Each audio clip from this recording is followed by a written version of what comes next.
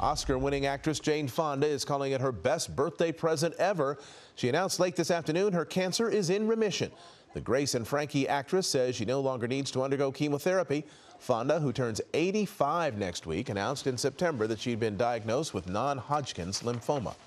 Hello, I'm Mark Brown. Get more great ABC7 content by clicking the subscribe button for our YouTube channel and download the ABC7 Los Angeles streaming app on Fire TV, Android TV, Apple TV, and Roku to watch on your TV.